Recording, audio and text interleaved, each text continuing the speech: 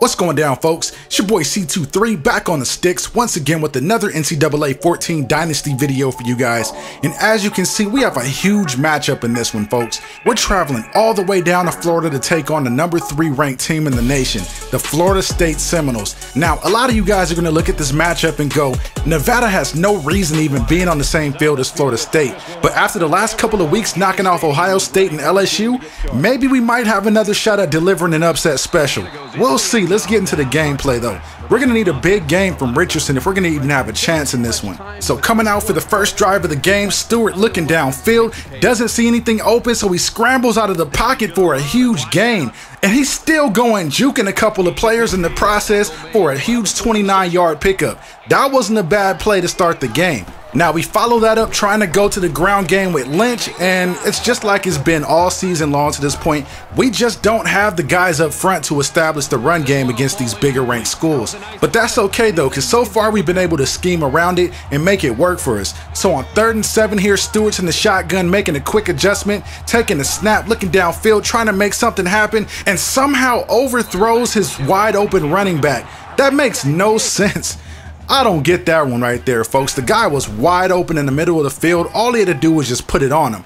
But after the incomplete pass, we end up kicking the ball back to Florida State and see if our defense can stop the third ranked team in the nation. They go with the ground game with Cook right there, and we end up doing a good job on that play, stopping them in the backfield. And it's kind of crazy actually seeing Florida State on the opposite side of the field because if you guys go back to my last NCAA series, it was using these very same Florida State Seminoles. So it's a little bit weird playing against them, but at the same time though, it is kind of cool because I did spend a lot of time getting used to all these players and I'm pretty familiar with the type of damage that they can do.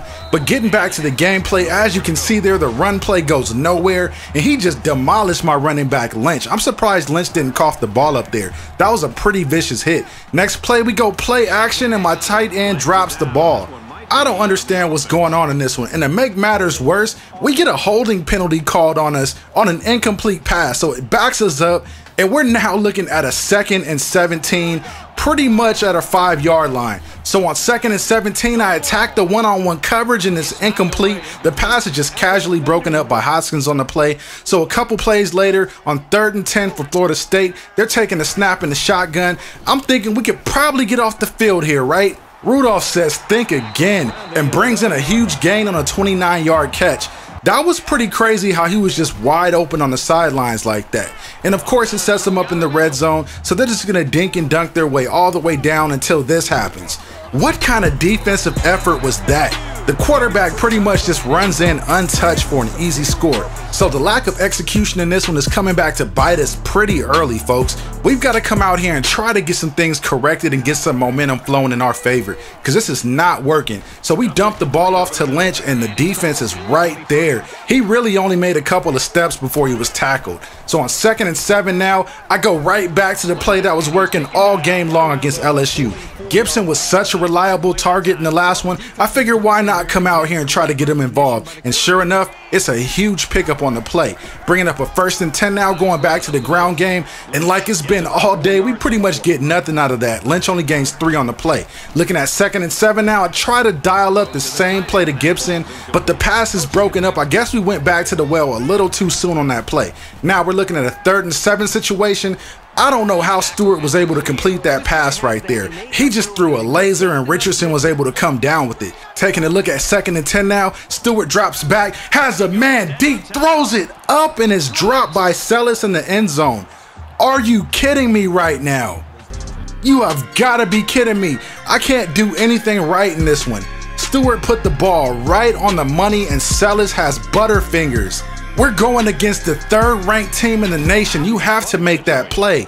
Oh my goodness. And I'll be honest with you guys, I was so mad at that play that I really just felt like turning the game off. And to be real with you guys, it really messed with my head the rest of the game. Plus, when you factor in those two fluke drops from earlier, well, the drop and then the overthrow, it really started to get to me like, yeah, this probably isn't our game. And the moment that I started thinking like that, this happens. I kid you not, folks, on cue. This was really one of those weird type of head games that you just knew you had no shot at winning. Regardless of adjustments or play calling, I really started to think that there was no opportunity for me to get this one.